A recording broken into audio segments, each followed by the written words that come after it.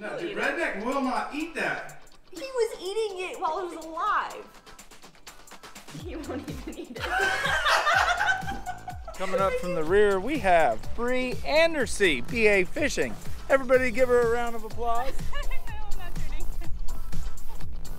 Yeah, Bree, I'm trying. look at them all right here though. Hold on, I'm gonna send a bunch back your way.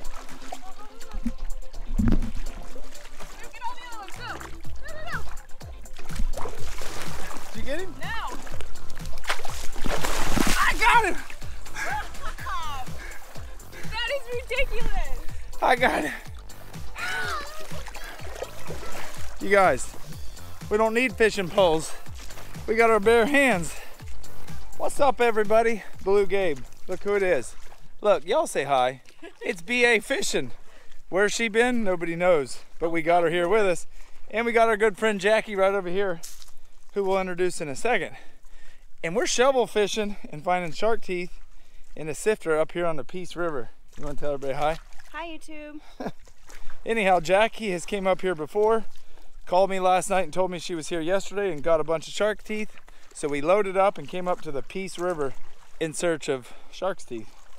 There happens to be a lot of plecos here, which are armored catfish, a real strong-bodied catfish that's not from around here. They do a lot of destruction, and we're shooting them with the shovel. That's right, old school, aborigine, slinging shovels. All right, so we're right here in a little spot where the current's wrapping around some rocks. Hopefully there'll be some shark teeth.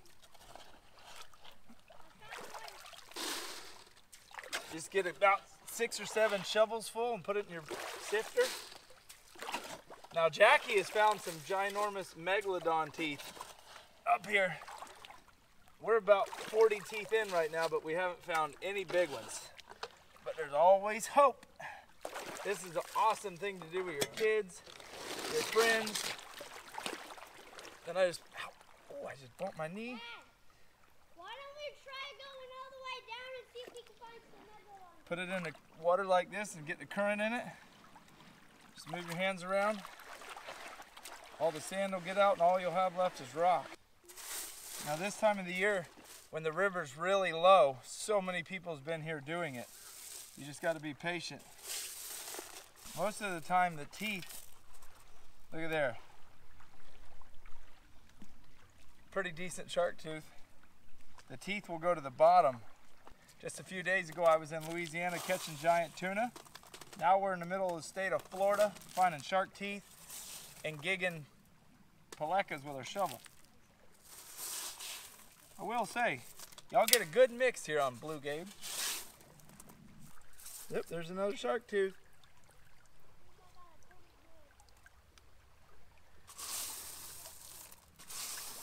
My son, Luke, my four-year-old's missing one of his front teeth, and he asked me today if I'd get him another new one.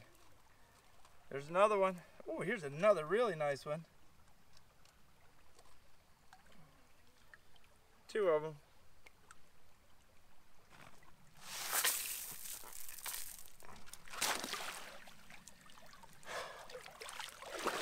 Let's go kill some fish with a shovel.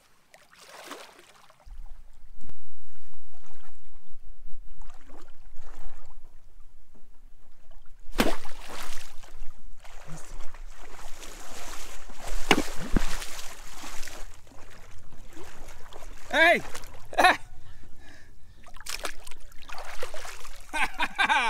yes! Look at that, y'all. Perfect. Ta-da! Right in the noggin. Jake, look at that. Right in the noggin with the I shovel. get next one. That one too. I get next one until next one. Do they even taste it?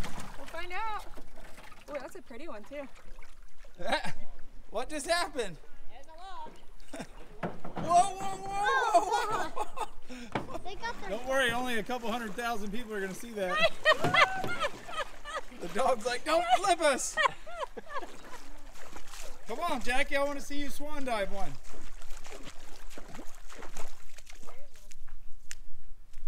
We gotta find them out here in the shallow. So what's crazy about this is just this morning laying in bed I got a request to do a pleco catch, clean, and cook.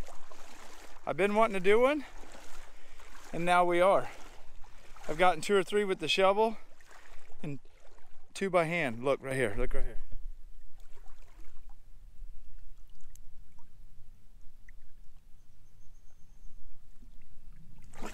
Ah! Ah!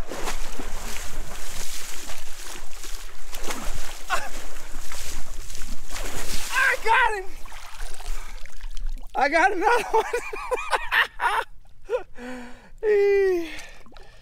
These things burrow into the banks real bad and they destroy all kinds of stuff. And they're hard as a rock. Ow.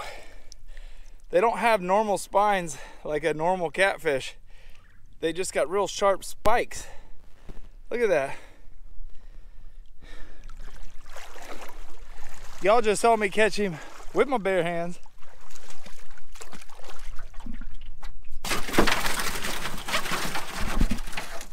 Don't worry, Bree. I, I got everything. Don't worry. Dang it. Right here, right here. Big one.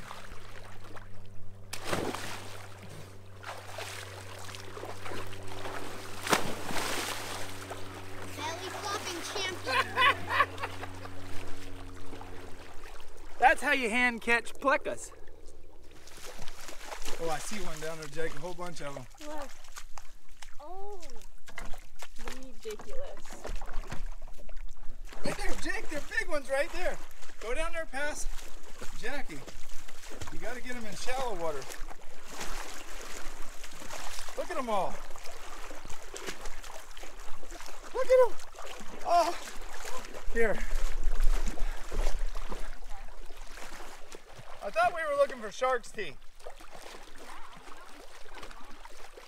Oh yeah, there's a spot right up here.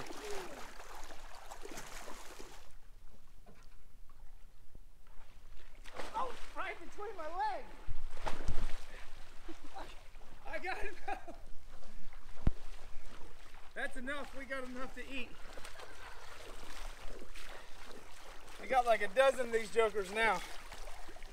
We'll see y'all back in the next spot where we're gonna look for shark teeth. That's the whole reason to have kids, y'all. Oh no! When you have kids, they work good for like retrieving your dove, pushing your canoe, cleaning the house, things like that. You just got to make them work. I might have to Get back in there and keep paddling, son. We're not done yet. What, you're deep? Big drop off. You guys, I can highly recommend this. This is pretty fun. It's called the Peace River. It's in Arcadia, Florida. Pretty cheap, fun. We're on the five mile, but you can do an eight mile. They say that takes pretty much all day. Uh, luckily, that wasn't attached. You're supposed to be our log guard. There's How a- many teeth do we have? I got like six. We've been doing this for like an hour and a half, two hours, and we already got 40 teeth. I have six. And I've already harvested some fish with my shovel, Yeah. and I'm gonna be getting some more and taking them home for a catch, clean, and cook. We caught an eel. Oh yeah, we caught an eel too. Get him. What do you got, Jake? You gonna eat him? Probably not. That's the same kind we caught at Uncle Robert's ranch. Yeah. There's a little better on me. Ah, get him off of me! Get! You guys, it's just one of them deals. Some of y'all might think this is goofy. We call it fun.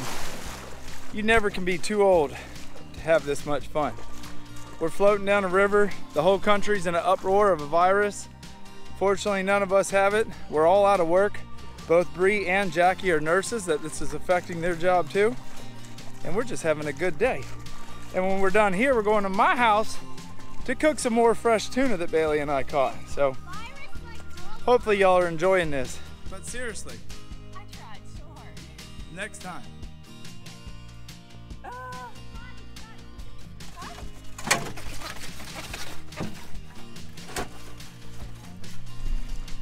So for those of y'all that catfish, one thing that's crazy about these plecos is they'll stay alive even longer than catfish will with no water. I'm pretty impressed though, Jackie and I haven't flipped this canoe yet. That's like a pretty big accomplishment. The cool thing about what we're doing is I know all over the country and probably all over the world, y'all have a stream or a river just like this that y'all can do the same sort of thing. Maybe not in March like we're doing it because it's too cold in other places, but right now it's 85 degrees and smoking hot. The water's probably 78 to 80 degrees.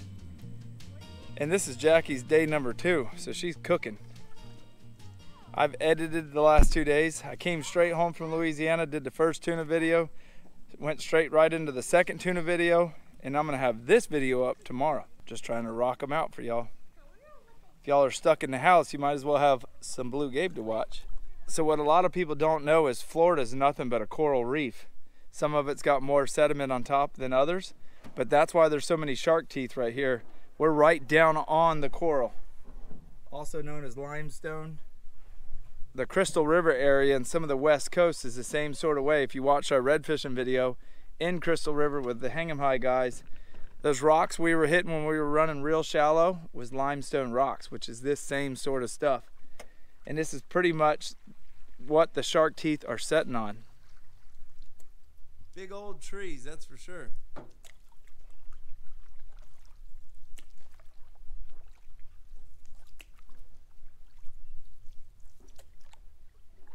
The root system to these cypress trees is so amazing. There's so many stumps and barbs coming up and all kinds of craziness to those root balls. The gray Spanish moss. You guys, look at that gnarly looking joker. But show them all the shark's teeth. I think we counted 70 something. I think we were in a nursery where all the small sharks. So I don't even I don't know where to start. I didn't YouTube what I'm about to do. I didn't do anything. This thing is so rock hard that we're gonna put these Danco knives to the test. I'm gonna just try to crack it open, like sort of expose the meat and put it on the grill and just let it cook in its own shell. So I'm gonna start right here on the tail. Now I know in other countries, gosh, other countries they they eat these things. But one of the reasons we killed them today is they cause mad destruction around here. They tear up our dikes and our levee systems. Like they're really, really bad. There's nothing that they do that is good.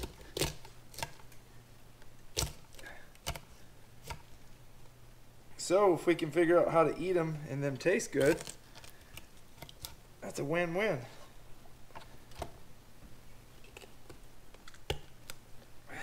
Dang. Gosh.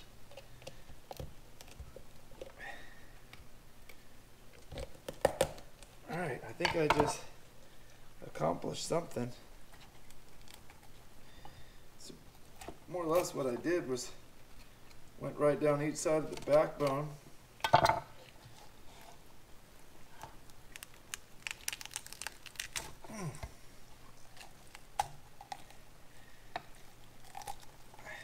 tore the middle part out. So I think we're getting somewhere. I don't know if y'all can hear that. It sounds like my knife is on sandpaper. The meat doesn't look too terribly bad. Well, tell everybody hi because So excited. everybody's been missing you. I'm gonna eat that and that. and Jackie's got that going. You I'm- guys. I'm, all about Don't that. think these girls stayed for dinner just to eat armored catfish, y'all. You know I had to bribe bribe them. Her, all I'm gonna do now is, well, maybe, maybe I'll try to. Well, that worked. Just so when we're trying to, gosh.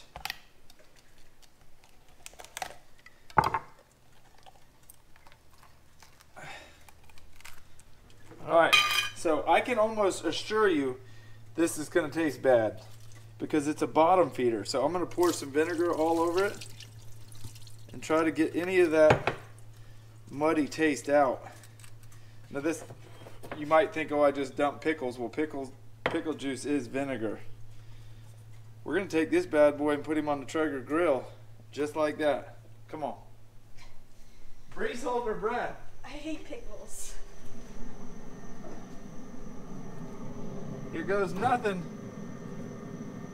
I've got it at 200 degrees. I'm gonna crank it up to about 350. All right, moment of truth.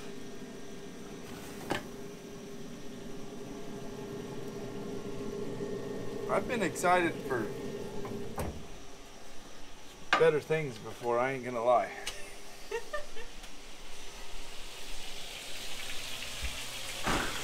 But look right there on the stove, y'all. That's what we're really excited about.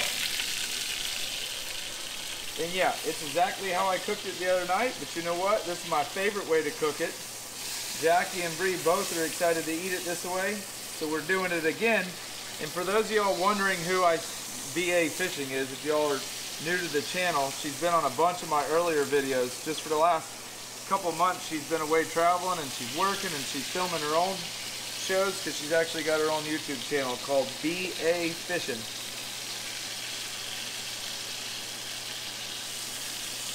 Look at that. But this time we got a little bit of a Béarnaise sauce, we got some white rice, we got some corn, and Miss Jackie cooked, y'all. Look at that. We got this And yeah, like what?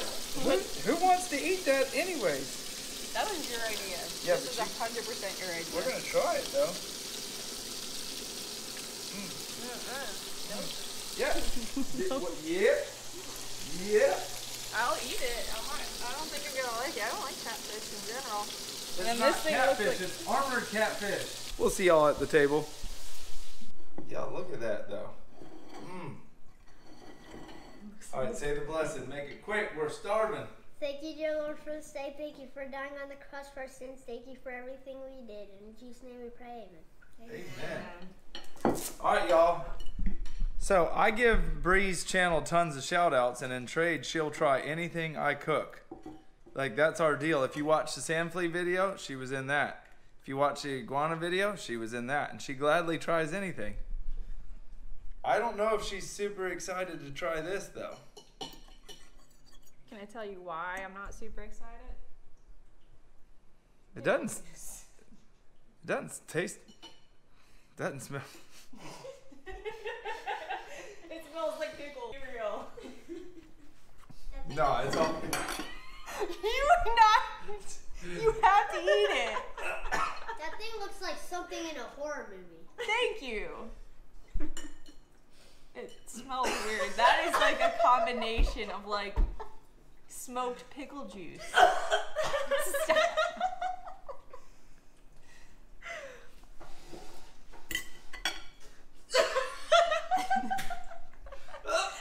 I swallowed it. I swallowed it. I didn't taste a thing. You're next. You're next. Jake, you want to try it? You're so next. I'm not gonna be the only one who tries this. I can't. You guys, that's a worse smell. Unless you poured pickle juice on it. Oh my god. Get it out of the house. You're No. seriously not gonna eat it. No, it's disgusting. I can smell it. It's horrible. You guys, so I did a video with Catch 'em All Fishing, and he made me cook a pacu. If I smell one more smell of that, Redneck, it was horrible. Redneck, come here. Redneck. Just try the tuna. Somebody try the tuna quick so I can get I rid of the pacu. it. Hold pacu. on, hold on. No, We'll dude, eat it. Redneck will not eat that. He was eating it while it was alive. Yes? Redneck, don't do it. I'm gonna have to sleep with you tonight. He won't even eat it. Are you kidding me? Redneck won't even eat it. You guys don't eat plecos. Kill them and throw them up on the bank and let the buzzards eat them. Don't eat them. Y'all, this video has been real. It's been fun. It brought me back to my childhood. I'm glad Jake, my son, got to come with us. Got Jackie, Bree. Too bad Redneck wouldn't even eat the fish. We got to end this video right here, right now, because we got a crazy, exciting video coming tomorrow. But right now, we're ending it. And like Jake always says, we're getting the heck out of here. And we're getting what, Jake? What? What'd you say? We're getting the heck out of shape.